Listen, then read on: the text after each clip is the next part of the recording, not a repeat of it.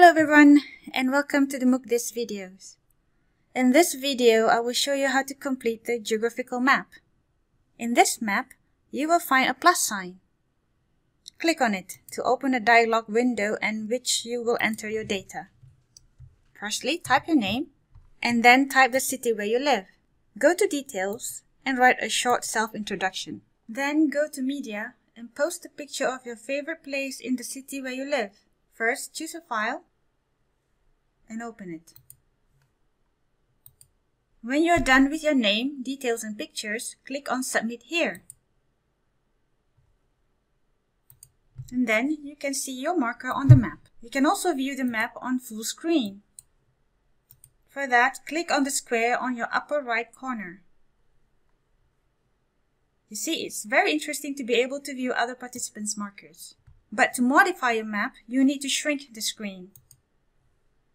You can also search for other participants by clicking on the magnifying glass icon. Then enter the name. If I type Marco, I will find his marker on the geographical map. If I click on his marker, I can see his name, location, and description, including his picture.